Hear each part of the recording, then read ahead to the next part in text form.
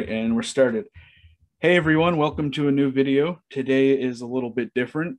I have author E.A. Meigs with me today. She is the author of the Ice Age uh, Dreamer series. Um, she has a new book coming out. So, Meg, can you please introduce yourself to people that might not know you and just give a little backstory? Okay, um, I'm I'm really bad at introducing myself because I never know what to say. Um, first of all, thanks so much, Joe, for having me on. Um, I've uh, I'm a lifelong compulsive writer who also has a background in um, natural history. Well, I have a background in a lot of different things, but uh, my passions are natural history and paleoanthropology and science in general. So um, this book series has just kind of been a marriage of my interests. Yeah, uh, I'm sure a lot of people that watch my videos and our our communities are very intertwined. I would say is, is something that's fair to say. Um, I agree. Yes so I feel like a lot of people know who you are, who who are in my community and obviously in your community. I'd hope. Um, so too. but for everyone who doesn't know, uh, Meg's uh, books are my favorite series so far that I've gotten into. It's one of the only series that I can actually sit down and read. Um, not to cast shadows on other series, but some of the other series get a little too over dramatic for my taste and all that. Uh, Meg series is just straight to the point. Uh, there's some jokes, some humor. It's, it's very good, very uh, informational, and the stories are always catching. Um, do you want to explain some of your characters before we jump into some of the questions, or? Um. Well, I try not to give too much away so I don't yeah. accidentally uh, put out any spoilers. But the main character is a young Neanderthal man named Triss. Um, the, the, series is a narrative. Um, I purposely uh, set up the books that way so that I and hopefully readers would be more in, engaged with him as a character. Um, you know, you have to expect that anyone who who lives that far back in history would probably have a, at least a slightly different point of view um, than most modern people. So I, my hope was that by um, presenting the books as a narrative, that they're getting more into his mind and his thought process and how he's experiencing the world. Yeah, and in your books certainly uh, they certainly show that in your writing and all that. Um, the first question I wanted to ask you uh, was why did you choose a male main character when so many other series in I guess the same genre choose a female char- main character? I, I didn't choose a male character. Um, when I write, I have no idea where the plot comes from.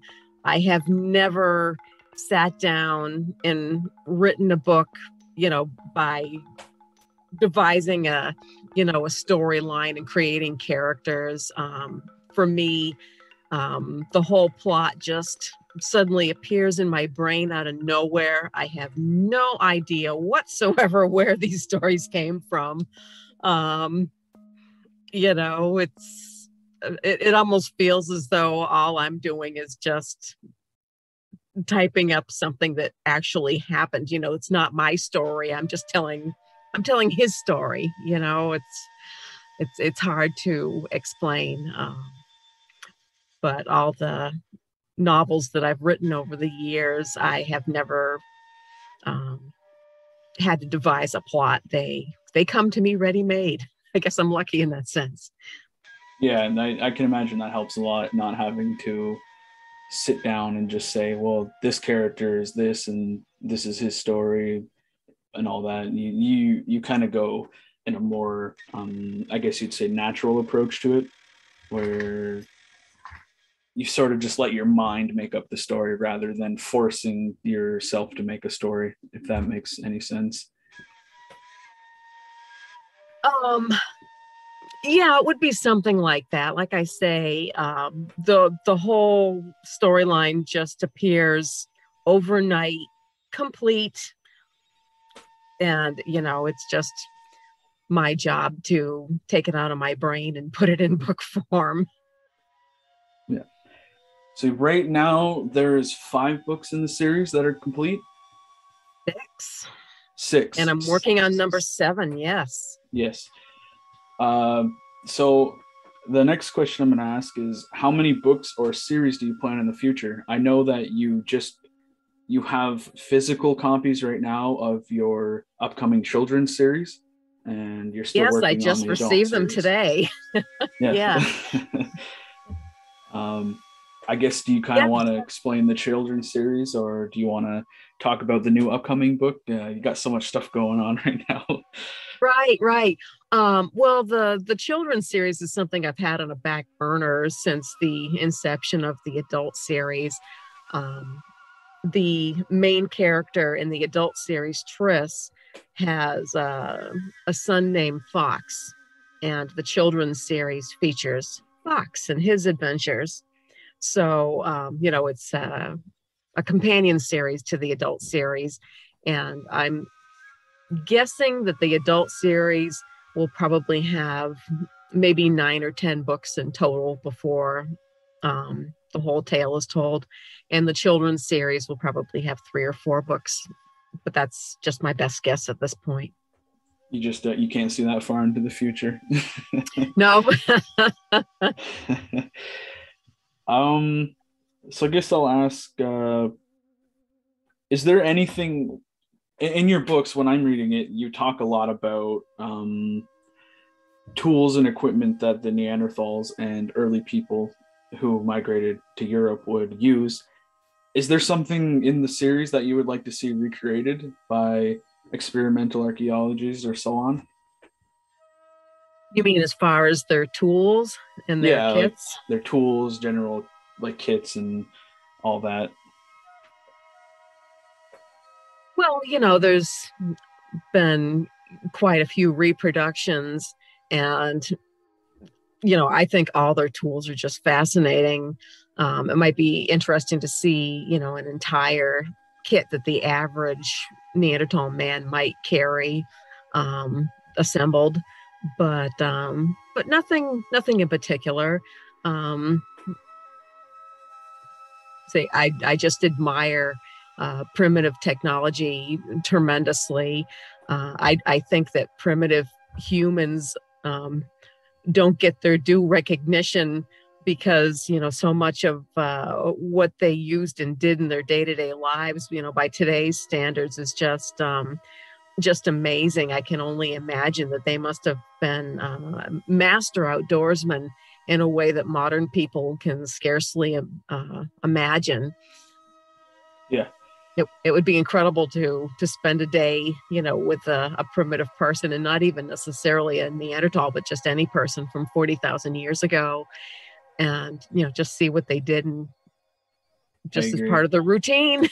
I agree. I, as someone who uh, practices all the primitive well not all of them but a lot of the primitive skills that are in your book it, it would certainly be cool just to spend a day or even an hour with one of them not like you said not necessarily a neanderthal but even an early human just an hour just to learn how they are learn what they do and that would like we've only known about Neanderthals maybe 150 years. Um, I think that's right. But uh, just in that hour alone, you could rewrite almost a century worth of uh, history. Oh, absolutely right. I mentioned um, going off topic or whatever. Uh, I imagine if we did go back in time, some magical or scientific way, uh, we would find out that they used a lot of wood and a lot more bone than we like tend to give them uh, recognition for. Right, I agree. I I I think that a lot of the things that uh, um, you know just didn't withstand the tests of time.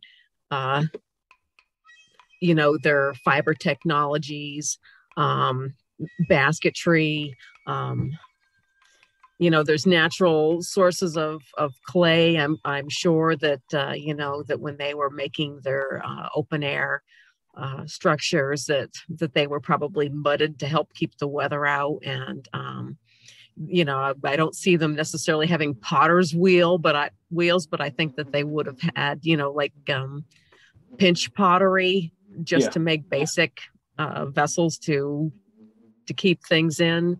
Yeah. Um, yeah, and, and, uh, and like uh, uh, Dr. Rebecca Wragg Sykes, I think is how you say her name. Um, in another podcast, um, she mentioned the fact that if they did find pottery or pottery shards and Mousterian levels, she would not be surprised at all. And I think one day we'll find we'll find some form of pottery in a Neanderthal site for sure. It um, wouldn't wouldn't surprise me at all. Um, I do know that our local sources of natural clay um, are pretty fragile. You can make things out of them, but our um, local clay is kind of sandy. Some uh, some clay is better quality than others, but I could see that um, a lot of clay items maybe wouldn't hold up all that well just because of the, you know, sand and other impurities in the clay that would make it fall apart. And I um, also think that we would be surprised to know um, how well their clothing was made. Um, yes. One of my pet peeves is seeing the Neanderthal portrayed, you know, with the a pelt or two haphazardly thrown across the shoulder yes. and standing yes. in snow. And um, I I just don't think that that's realistic to expect that these people no. would have survived um, even an average winter, never mind an ice age winter, no, you know, not, dressed not that way. And I think that they would have had um, very well made clothing um, to keep out, uh, you know, not just to um, cover them, but to keep out cold drafts. You know, they would have had to been uh, fitted clothing. Yeah, I, I, I agree.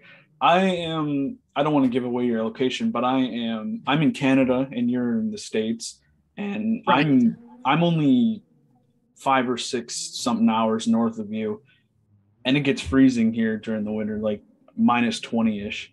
Um, so, and that's probably not even compared to ice age periods, interglacial periods.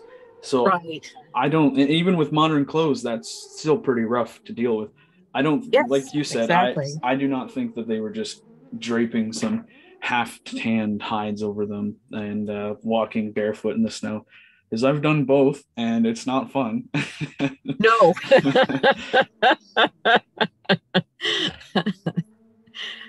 Yes, and I also am pretty sure that they would have had methods for making um, footwear and at least some of their clothing um, waterproofed or water resistant. Yes, I, I, agree. They they must have had some sewing technique like the Inuit used to waterproof their hides. Um, I just don't I just don't see them sewing the way most uh, southern I would say southern Native American tribes did and that's really like uh, I know it's there's a whole ocean dividing Europe, the Eurasian Eurasian uh, continent, and all that with the North American continent. But really, that's the the best examples we have because if you look at it, uh, a lot of the hunter gatherer tribes in Africa do not make their own clothing um, anymore. Uh, in Australia, they don't the only people we can really compare that to is the Inuit, the Sami, and some other Native American tribes because that's the most recent. Uh, right. And that, and it's unfortunate that so much has been lost to history, but I guess it's fun to kind of guess. But if you're gonna guess, at least make it realistic. exactly. right. Um, so a follow-up question to that is do you have a favorite tool from prehistory or a favorite like hand axe or arrowhead style or something like that? I do admire the hand axes in general. I don't know if I'd necessarily say that they're a favorite, but I've always had a soft spot for the hand axes. You know, they're just so beautifully made. I love the symmetry. I love the utility because, you know, what can't you do with them? You can do almost anything with them. Um, so yeah, I would have to say it would be hand axes. Yeah, I agree with that. Hand axes are definitely my favorite thing. not only to recreate but to um, uh, admire. I, w- I should say I own a few. Thankfully, people in the communities have sent me some over the years, but yeah, they're still fun to admire. um, so this question sort of relates to your books, but it doesn't give anything away. Uh, do you believe the theory that Neanderthals appeared to have large gatherings every few years? And if so, what do you think they were doing at these gatherings? I've only heard about that in passing reference, and I'm not quite sure where that theory uh, is derived from. Um, you know, if there's some sort of archaeological evidence that there were occasional gatherings, I mean, we have to assume that occasionally groups of Neanderthals and, you know, and possibly uh, other humans who were around at that time would have at least wandered into each other and met each other, um, yeah. whether or not they were organized. Um, you know, who can say? Maybe. I I don't know. It's a hard. Uh, I don't know too much about it either, but uh, I think it's that one site in Jersey and another one in France. They're they have some evidence of. Uh, it will be like five years there's no activity and then all of a sudden in this place there's mountains and mountains of activity just within the layers and uh, sometimes it appears that homo sapiens were using the layers for a couple months at a time and then the, or the neanderthals were using the layers at a time it's all confusing um, i haven't looked too far into it because that's not really an interest of mine i'm more i'm more in the interest of the lithics, the lithic industries of the Neanderthals and early Europeans and all that. Uh, right. Yeah. Yeah. Well, it would not surprise me if, um, you know, that there were occasional gatherings. You know, I, I think it's inevitable that they would have run into each other. Yeah. At least then, on occasion, whether intentionally or not. Yeah. And eventually they'd have to, I wouldn't say trade women, but they'd have to trade like younger people just to keep their clans healthy. I don't I don't think they were interbreeding that much with each other. Um, but I think that there's some evidence from the El Sidrón site where they were trading females and I think younger men, but I could be wrong of that. Uh, I have um, read something about um, that. Uh, I I think it was I can't swear to this, but I think it was looking at genetics that um, in at least certain areas, the um, somehow they've been able to tell that uh, the Neanderthal mothers were older and the fathers were younger. and again, I, am guessing that this was uh, I, I think that figured out genetically. I, it was an article that I, yeah, it was. I read this article a, a, while ago, and I read so many articles every day. Sometimes, unless it's something that I really want to take note of, um, it just sort of gets lost in the shuffle. But I did read about that, and I'm sure that you know when groups did meet each other, that uh, you know that there would have been some let's let's call it commingling going on, and uh, um, and I think that that's just natural not only in humans but in any species because that you know bringing in those new genes um, helps strengthen the groups overall. So you know whether we're we're talking about bears or or people or deer or whatever you know get bringing in those new genes yeah. just helps everybody. It's uh I guess genetics is still something very young, especially paleogenetics. It's just, it's so hard to understand that you pretty much have to have a degree in it to fully comprehend everything that they're trying to tell you. You're not, I don't think you're going to get that, all the information out of uh, a couple tabloid articles.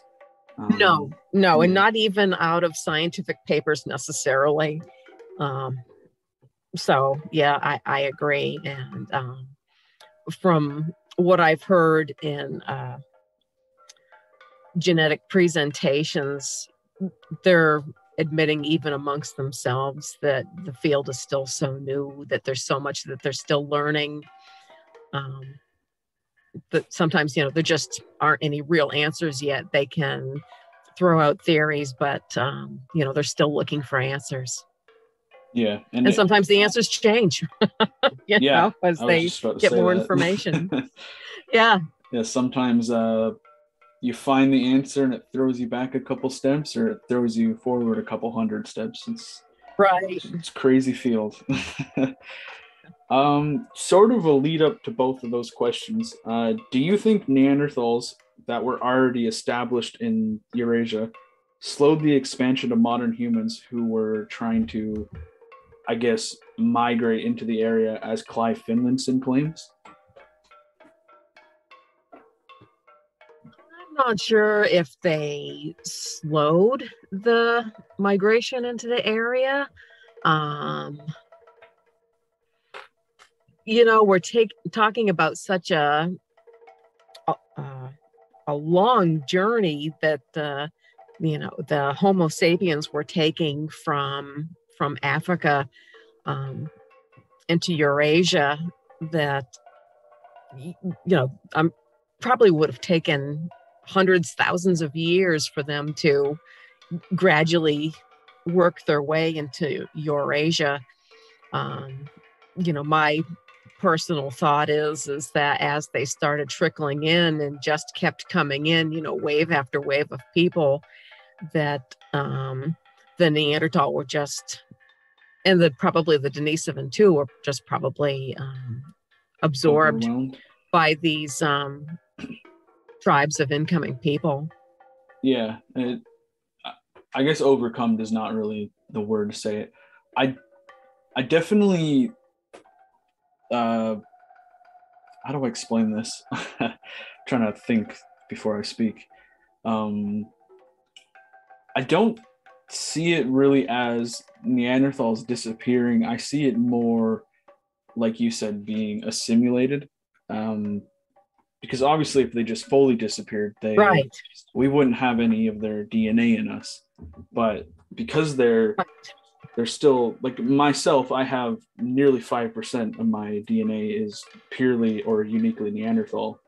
Um, and that's a big number considering that was almost 45 50000 years ago um, when or around that give or take however many years and so i don't really like the when tabloid articles or people that are just getting into this say they disappeared. I, I see it more as they became us, like hybridization and all that.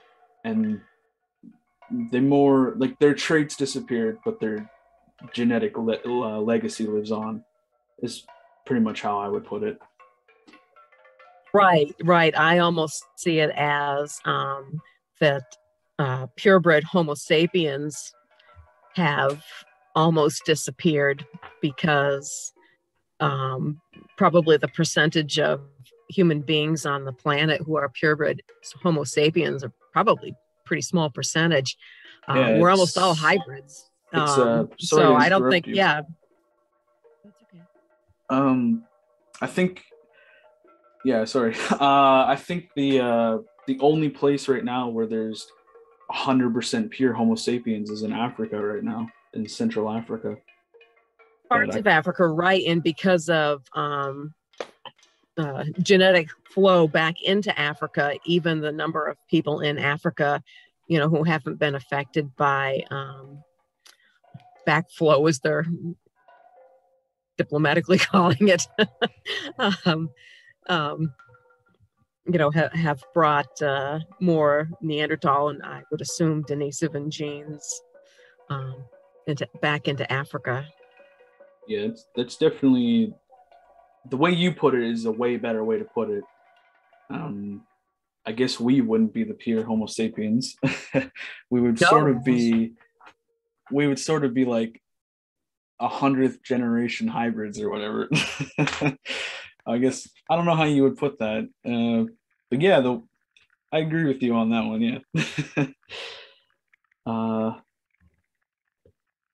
yeah, kind of blew my brain there. Blew my mind there. Um, sort of leading up to the whole intermingling hybridization thing. Do you think the Denisovans and Neanderthals and whatever unidentified, not yet known hominin species passed on local knowledge to the newcomers? Or do you think the Homo sapiens migrating into the area slowly learned these skills? I guess it would depend on how much interaction they had with the the Neanderthal, the Denisovans. Um, you know, if they were in an area that wasn't already populated, they would have had to fly by the seat of their pants and figure it out on their own. But um, I'm sure if groups of people were meeting, that there was um, knowledge exchanged back and forth between the groups. Yeah, that's fair. Um, I'm just trying to go over my bullet points right now. Uh, do you think? Uh, maybe not that one. Yeah. Do you think hybridization with Neanderthals and Denisovans, and again any unidentified hominins, helped modern humans evolve at a faster rate? Um, I think they call it some. I think it's a theory or a hypothesis. I don't know. Do not remember the difference right now. But some are starting to say now that there was a Paleolithic revolution where all the interbreeding helped unlock something in the Homo sapien brain after hybridization that allowed us to start becoming more um, civilized, I guess, is a way. Like start becoming who we are now. I read something about this a few years ago, and I, I'd have to dig into the dusty files in my brain and try to retrieve that information. Um, I I I think it's really hard to say. I I think that that intermingling definitely helped make us who we are today. Um, the if I remember correctly, the articles that I read as I understood them, and I have to um, approach this as I understood it because sometimes I read something and someone else will read it and come at it from a completely different angle. But as I understood it, um, they were saying that um, you know there were certain um, if not cultural but just innate um, attributes that the neanderthal had um, that uh, courtesy of the intermingling uh, may have been passed on to the uh, homo sapiens that changed um, homo sapiens in a way that um, made them slightly different people. Are, now, are we talking about the same theory or am I um, completely off base here? It, it sounds the same. I don't really know much about it uh, because I get into all these things and then I don't follow up with them. Uh, but it sounds it sounds about right. Uh, it sounds yeah. Yeah, that's completely speculative. I mean, who can who yeah. can say it's an interesting theory?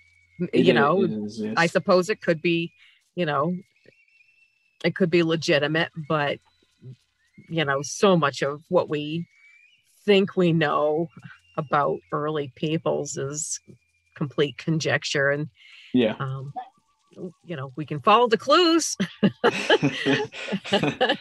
yeah pretty it's much. kind of fun but uh you know it's we're just speculating yeah i guess a lot of it really comes down to guessing yeah, but that's fun. I mean, I I love it. I, I love talking about it, as you as you know. yes. yes. um, I I just had to pause the video to ask Meg a question. I didn't want to uh, spoil anything in her books, so I'm going to ask the question again. What? Um, oh no, I can't remember it. What are some of the ways you think Neanderthals preserve food? Uh, do you think they had access to salt, or what are your thoughts on that? I think access to salt probably would have been fairly rare. Um, you know, unless they came upon some natural salt deposit, uh, my best guess is that they were probably uh, drying and smoking meat as far as long term preservation goes. Um, I'm also guessing that uh, in areas that had year round permafrost, that they may have dug into the soil and um, made a cold storage cache to Yes. to keep foods preserved that of course would be subject to raids by animals and possible spoilage by you know rainwater seeping in or different things um, but uh, it, it would have been something that they could have easily accessed Yeah, going going to the uh, permafrost burial thing.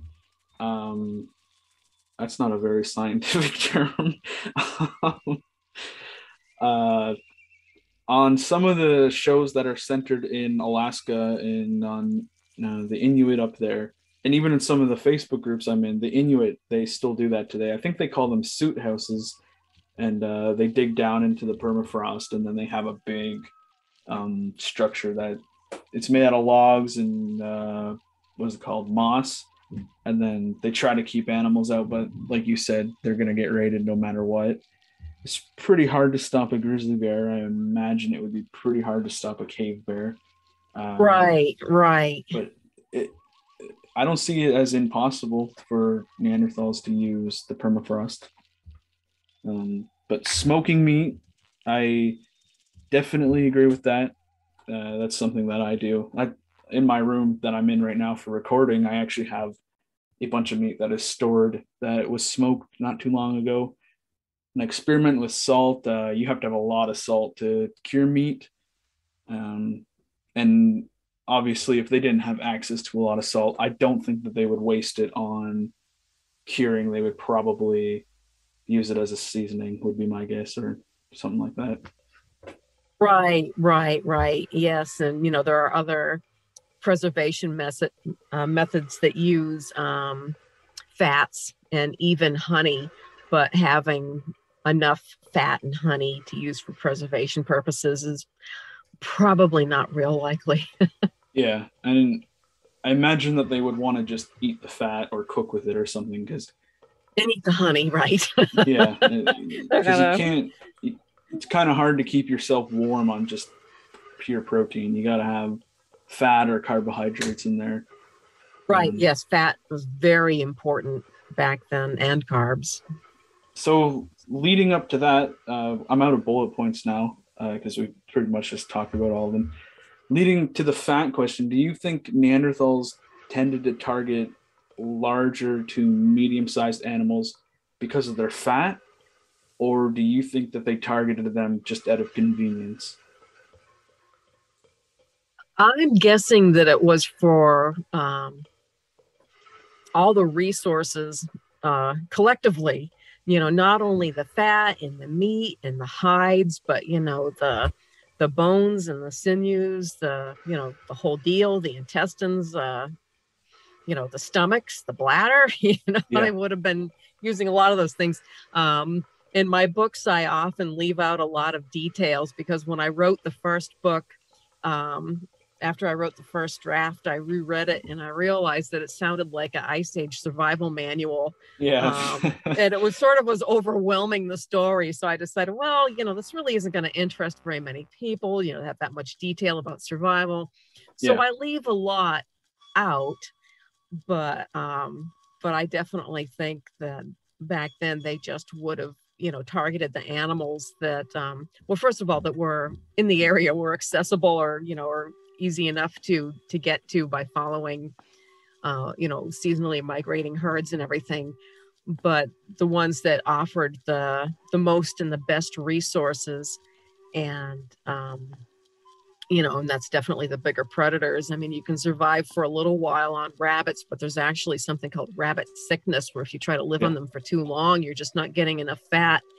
And um you know it causes severe health problems and even death.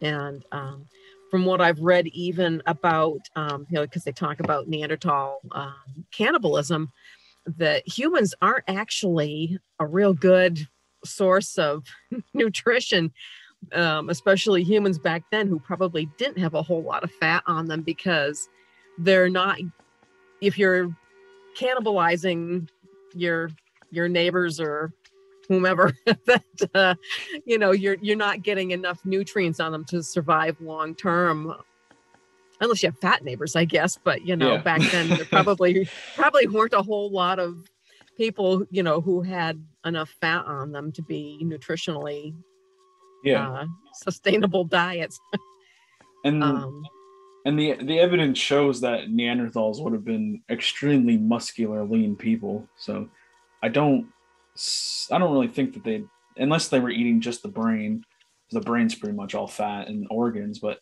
that's kind of a waste. I don't think you're gonna kill your neighbor just for their brain. You're gonna get uh, right right no i Prions think it disease. was yeah yeah that it would have been um either absolute desperation or that these um people were um um violent invaders or something that you had to get rid of somehow. So um you know so if they were cannibalizing people it would have been absolute necessity or they were undesirables or miscreants or something that uh you know, Yeah. we're not someone that wanted to keep around, but I don't think that it would have been done on a routine, sorry, to spit this out, a routine basis for nutrition because I've I've read in any number of sources that people just aren't all that nutritious to eat, uh, you know, as far as a sustained diet. Um, yeah um it to me it, it- i hate to say it because i make fun of it all the time but to me it seems like it, it even could have been a ritual practice uh, i believe it's called excarnation where instead of burying the body you you strip the flesh off of it and then you bury the bones.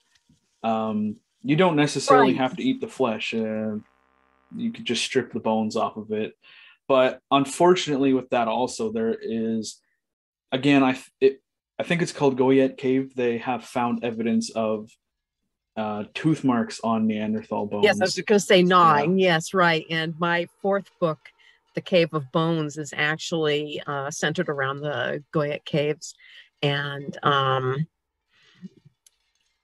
it's a good name for It's- a book it's- yeah, it's it's fiction, you know. So it's my it's my take, and I think people might be a little. I've had a any number of people tell me that the the fourth book, The Cave of Bones, was their favorite, and um, it's it's one of my favorites, even though uh, you know there is cannibalism as part Yeah. of the the storyline, but I I think I take it in a little different direction than most people expect. Um, and I'm gonna and I'm gonna leave it at that. But um, I, Yeah. I did do a lot of research about um, the Neanderthal and cannibalisms in the Goyet caves and everything, Yeah. and um, and also about um, as you say that sometimes it was um, you know just a ritual because you know back then um, it's hard to dig a hole in dirt that hasn't been previously Yep. dug up you know?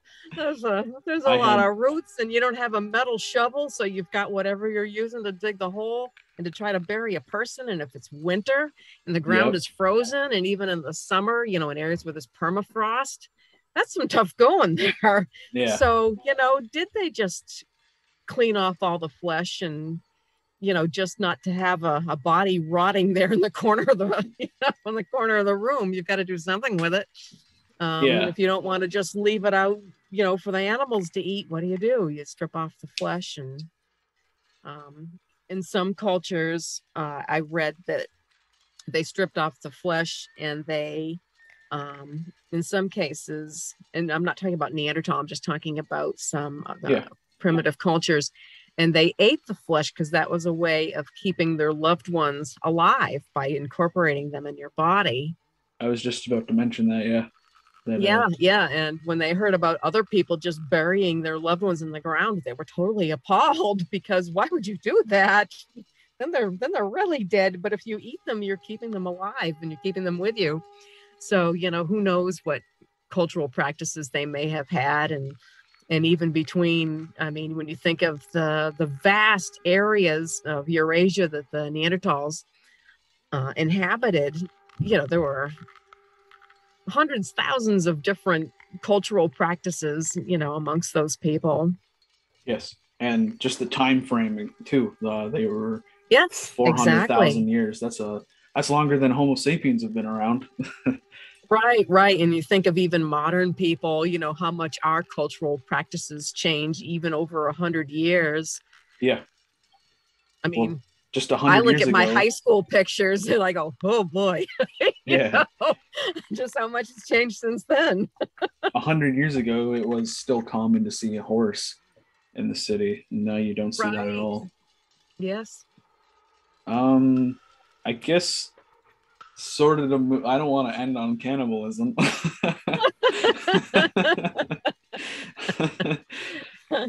um. So I guess, do you have a favorite ice age animal that anytime something pops up of them, it just fascinates you? Because for me, it's uh, it's it's always been the aurochs. Um, the aurochs to me just seems like this magical being, even though it was basically just a giant cow.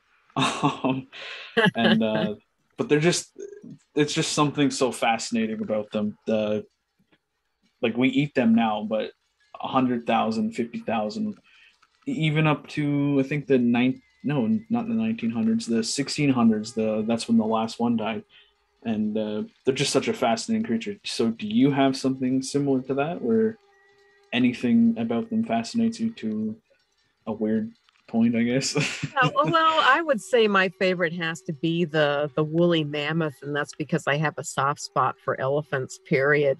Yeah, that's way reasonable. back when um, I went to a zoo where there were elephants actually walking around, and you could pet them and feed them. And so I had my handful of elephant kibble, whatever it was. And I held my hand out and I kind of expected that the elephant would use its trunk, you know, and take it and put take it out of my hand and put it in its mouth. But no, it opened its mouth. It took my whole arm up to the elbow and just kind of sucked the food off my hand. And I'm like, oh, well. That is weird. Yeah. That was that's unexpected it wasn't alarming because the elephant was so gentle, but my arm was in its mouth up to the elbow and it just it just sucked the food off. But it was just such a gentle, lumbering animal, you know. I just uh, ever since then I've really felt an affinity for them. And um, I do a lot of research on elephants as part of writing about woolly mammoths because it's really that's what we have to go on in modern yeah. times. Um, we just have to assume that, uh, or at least I, I assume that the woolly, woolly mammoths would have at least shared um, some things in common with modern elephants. So uh, they're very closely related, I think. So they couldn't have been that far off. I think that the woolly mammoths genetically are uh, closely related to the um, Asian elephants, even though Asian elephants, um, my understanding is that Asian elephants are a bit smaller. Yeah. And of course, they're you know built entirely differently. Yeah. Uh, you know, the woolly mammoths are very distinctive from other pachyderms. That's true. Yeah. The, so, lead, going off of woolly mammoths, do you think that we'll ever see, for example, Pleistocene Park? They want to bring back the woolly mammoth to help preserve the permafrost or the Siberian tundra. Do you think right. that? Pardon? I just said right. oh yeah, sorry. Um, my headphones cut out when you said that. Um, so do you think in your or my lifetime that we'll see maybe elephant mammoth hybrids, especially with all the new um, permafrost elephants that are not elephants, uh, mammoths that they're finding nowadays? It wouldn't surprise me. I don't know if we'll see it in my lifetime, but you're a lot younger than I am, so possibly within your lifetime. But um, you know, because it takes you know so many generations, at least as my understanding goes, you know, they um, they get a you know enough DNA to do a Jurassic Park type thing, and it would take a, a number of generations to get an animal that was a certain percentage of um, for lack of better term, purebred woolly mammoth. Yeah. So, uh, and elephants are a fairly long-lived animal. Um, so, you know, each generation is going to take a significant amount of time. Yeah, that would it's pretty weird. That's a really weird. I know there's a lot of uh, ethical and uh, some people don't like that, but I'm open. I'm open to see a woolly mammoth in my lifetime, uh, which would be pretty cool. But uh, I don't know. I think that's far future. Maybe my kids will hopefully see it. I I'm not too sure. I don't really follow that too much. But the Pleistocene Park, uh, that's just some very interesting stuff. I'd like to go see that one day. They got the like heck cattle and the bison and horses right. and all that. It just yeah. It it's not it's obviously not going to be the ice age experience, but it's something that I guess would be nice to see just to kind of get a little bit of a glimpse into that distant past. Right. No, I, I agree. I think it would be uh, incredible to see. It's something that I would like to, place I would like to visit someday as well. Yeah. I might have to, uh, if I ever do end up going there, I'll have to bring my primitive clothing and chase some animals around.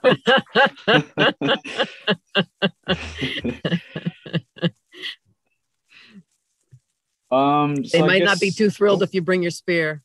I will. I'll. I'll just jump on them. Be a rodeo rider for the day. uh, so I guess the final question here is, uh, why do you think uh, there's such a strong bias towards Neanderthals in an age where information is uh, so free flowing? Um, do you mean in general amongst the general population, or do you mean amongst uh, scientists? Or both? Uh, both. We'll say both. Yeah. Okay. Um, amongst the general population, my guess is that you know most people are are probably too busy. It's just not on their radar, you know, to be following paleoanthropology, and they just, you know,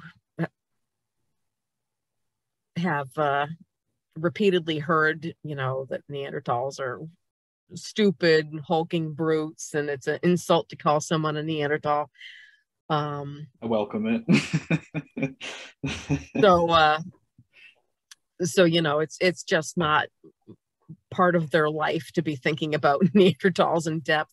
Uh, but as far as scientists goes, um, I can't say I've um, heard some very well respected scientists um, talk pretty negatively about the Neanderthal, even in the face of, you know, um, recent I, developments. I like, oh, sorry about that. I thought you cut out again. Um, sorry, keep going.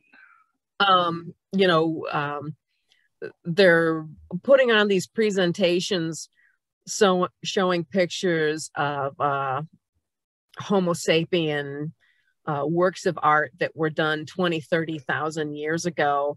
And uh, 20, 30,000 years ago, these Homo sapiens very well could have been hybrids of Neanderthals. But not only that, you know, they're showing pictures of what is potentially Neanderthal art against um, Homo sapien art that is 20 30 40 50 60,000 years younger than yeah. the, the Neanderthal art and yeah. um you know more recent studies that that I've seen have shown uh, Neanderthal um, what is proposed Neanderthal art um, presented in a different way where they've seen um, what they think might be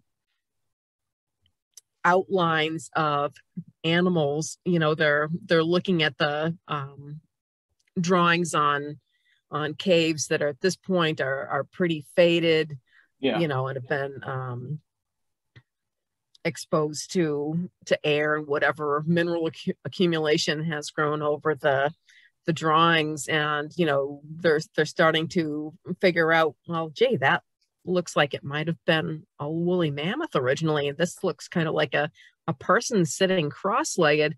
And you know, I I couldn't say if they're right or wrong in in these speculations, but you know, it's a possibility. And um, I have a harder time taking these scientists seriously when they're taking art that's so old and comparing it to art that is tens of thousands of years younger and yeah. saying, well, you know, the Neanderthal were uh, a limited people because, and that's putting it politely, limited people yeah. because, you know, they, you know, why aren't they drawing pictures like this? And I'm looking at, uh, you know, the illustrations from the Chauvet caves and like, I can't draw a picture like that. Never mind, yeah. you know, uh, not even every Homo sapien can draw pictures like that. Um, I, so I just, yeah, I, I, I don't know why they have that prejudice, but it's definitely out there in, in some people. And, you know, we're all I, different. I feel like, what, what can uh, you say? Uh, I feel like a lot of it comes down to ego um, I don't. This probably sounds rude, but I feel like a lot of older scientists grew up with the idea that Neanderthals are inferior beings, dumb brutes, and all that. And now they have to sort of, and, and, and a lot of them have been teaching in academia for years now, probably longer than I've been. So it, it probably is a real kick to the ego to basically be told everything you've been teaching up until this point has been wrong. Um, that's probably not too fun on your ego. And I don't think there should be a lot of egos in science, but unfortunately, we're all human and you can't really control how your emotions feel, I guess. Right. Yeah, that's probably true in in some people. I mean, you can you can only guess. Um, yeah. you know, it is a, it is I'm one of those yeah. I'm one of those older people too, and I had never given the Neanderthal a lot of thought um, up until I don't know, maybe 20 or 30 years ago. And you know, I had misconceptions about them as well. Yeah. Um, I don't mind being proven wrong by science. I love learning new things and even though occasionally something will come up that sort of contradicts what's in my books, you know, some new discovery, you know, thought, oh boy, now I have to work that in, but that's fine. you know, yeah. I just hope the readers will bear with me and realize that, you know, as the uh, the field grows, that um, you know, even though I try to do the best I can to, you know, research to try to make things as uh, accurate and as plausible as I can in my books. Um, you know, once in a while something comes along, it's like, oh, okay, I'm gonna have to figure out how to write that in. yeah. To uh, you know, to make it to make it right. And, and you well, as you're writing these books, uh, like you say, um, things are changing so fast, especially when it comes to Neanderthals. It seems uh, it seems that there's been a resurgence of interest um, with them, uh, especially with all the new uh, genetic um, or uh, yeah genetic evidence and all these new sites being found, and more and more people are becoming interested. It seems like um, like things are going back to the time when Ralph Solecki was digging up Shanidar Cave and even all that. Like it, it, it, it seems like uh, there's a resurgence in Neanderthal popularity. I don't know if you feel the same way. Yeah, I have noticed it, but I think that's because there's been so many um, discoveries in the last um, couple of years or even five, ten years. You know, the field has just grown by leaps and bounds. Yeah. And like people that, well, nobody's like me They just pop out of nowhere and I can help teach it. Well, not really teach it, but show this stuff to other people, much like yourself. Um, you can you can sort of use social media to kind of show the average person um, this is how they actually were this is what we currently know things are always moving so yeah i don't know if you feel that way but i feel like a lot of a lot of it has to do with the new discoveries and social media like there's been compared to i'll say like 2015 there there wasn't very many uh, anthropology and paleoanthropology groups on Facebook. Probably not any, if I'm being honest. And now it seems that there's a bunch popping up um, all over the place now. With, oh. Uh, oh. Yeah. That's interesting. And it's kind of funny because 2015 is when I started writing my series. And um, yeah, I guess I would say that there are probably more groups on social media now than there was back then. And there's certainly an awful lot more information out there now than um, there was back then. Yeah. Um, I guess that's uh, it. Uh, is there anything else you want to talk about? I can't think of anything off the top of my head except for to say thank you so much, Joe. I, uh, it's always fun talking with you, and thank yeah. you so much for inviting me to meet with you. On no problem. Um, so just uh, how do I close this? Where's Anthony when we need him? Um, uh, I guess uh, steal his phrase. So cave dweller friends. Uh. I guess uh, I'll have links down in the description where you can find uh, Meg's websites and her medias and um, you do you want to let people know your website name and where to find books so they can purchase a copy of their own Sure. Yeah. My uh, website is dreamerliteraryproductions.com. Um, that's the storefront page. So you can navigate from there to pretty much find anything you want, whether it's buying the books and hardcover, paperback, or ebook format, or um, check out the tabs and read about the different books and read the blog or or whatever. Um, oh, oh, and the reader reviews. Yes. See what other people think about the books. well, I all I can say from my perspective is the books are the favorite my favorite thing in the library right now, our library. Um I'm Thanks I'm so much. I, I'm rereading chapter three because I or book three because I took I took a break and then I sort of forgot. So I'm rereading it, but I hope to finish the series hopefully by the end of the summer. I need to stop letting my ADHD get the best of me and just sit down and read. But once I start reading, it's pretty hard to stop because the stories are so very uh, enthralling. I think is the correct word to use.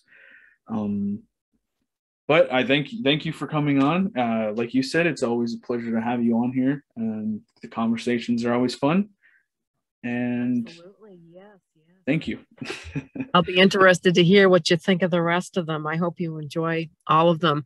It really does mean a lot to me when people give me feedback and and tell me what they take away from the books and um, you know some of the readers write to me and they get into detail about the parts that they really like in different stuff and how they're going to get a dog and name their dog after a character or something and and I absolutely love it. I you know when I write that it's a pretty solitary occupation so I'm just here tapping away and um you know you don't know you know is, is your work uh, resonating with anybody? You know does it mean anything to anybody? And to have people tell me that they um, enjoy the books or that they really relate to Tris the main character I've had a um, a lot of guys in particular tell me that they really relate to him I am the um, same way. I definitely relate to Tris. yeah, yeah, uh, and it, I'm I'm just so glad, really so glad. So thank you again for the opportunity to come on and talk with you and talk about my books and talk about ancient humans. no problem. Um, so thank you for watching, everybody. Uh, again, this is E.A. Meigs, um, writer of the Dreamer series. Uh, you can find her in the description down below. Uh, again, thank you all for watching. I hope you enjoyed, and I'll see you guys in the next one.